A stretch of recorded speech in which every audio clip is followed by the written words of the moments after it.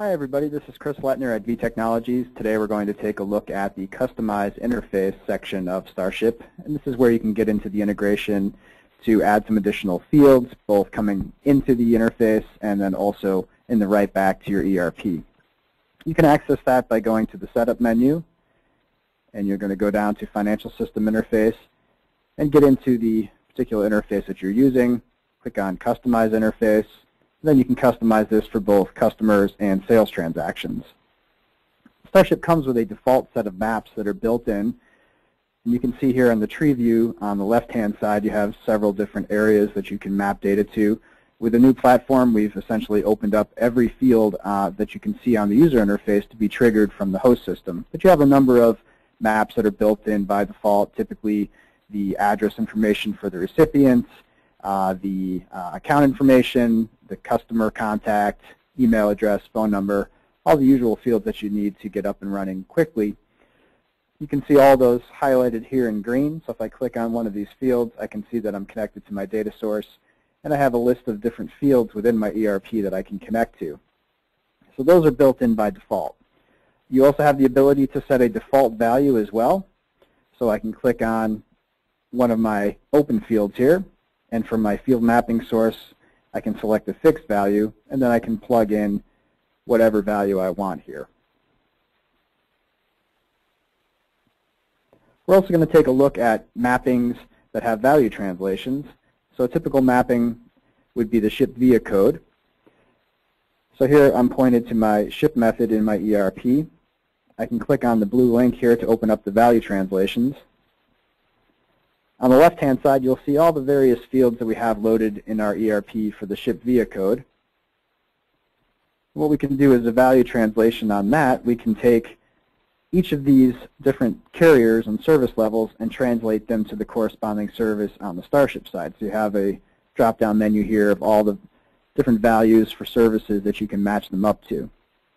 In this example, we're going to ship a collect or bill to recipient shipment where we're going to bill the customer's account number and we'll pull that preference directly over from our ERP. So when I punch in my order here, Starship will read that based on the value translation and go grab the account from the customer card. If we click over here on the shipment tab, we can see that the appropriate billing preference and account number have come over from our ERP.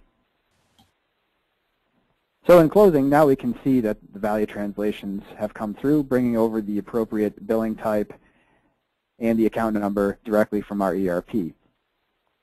From here, we're also going to take a look at the customizations that can be done on the write back in Starship. So you can also pick which fields you want to send back to your ERP through the notes.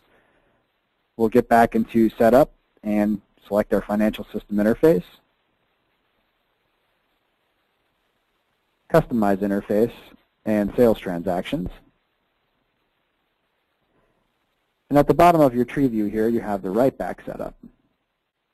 If I click on that button, this gives me some settings here that I can create for both freight and parcel shipments. So you can have different types of information go back and forth between the ERP for both freight and parcel shipping. You can easily modify the notes. This has some standard information that comes out of the box. But you can delete fields if you wish. You can simply highlight here and delete that field. You can change the order of appearance. You can also highlight the tags here next to each field value and label that however you wish it to show up inside of your ERP. We're going to add some new fields. These can be easily selected here from the drop-down menu.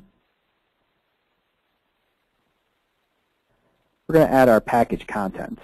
So we're going to get to our pack fields.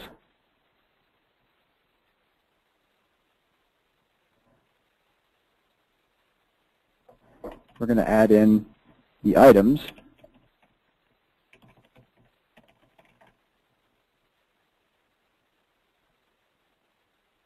And then also the item quantities.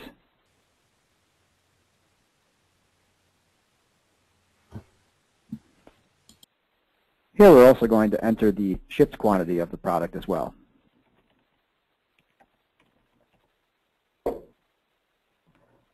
We're also going to add the department field.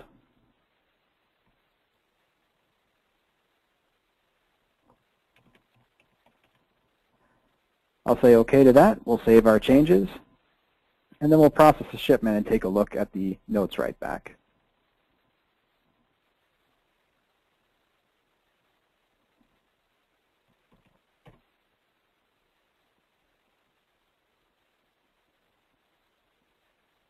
So as I bring this over, I'm going to pack my goods into a box, and then this way I can reflect the packed quantities back in the notes. So I can see I have my two boxes here, and we'll show the item distribution between multiple containers in our notes.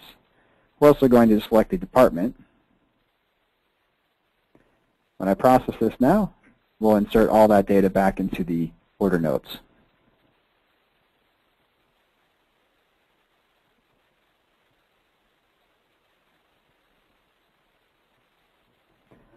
We'll minimize Starship here and take a look at our sales order.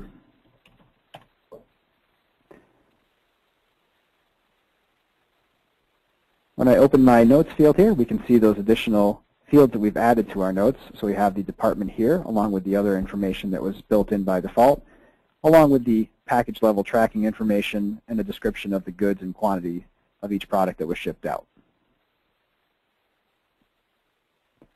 That's notes customization for Starship.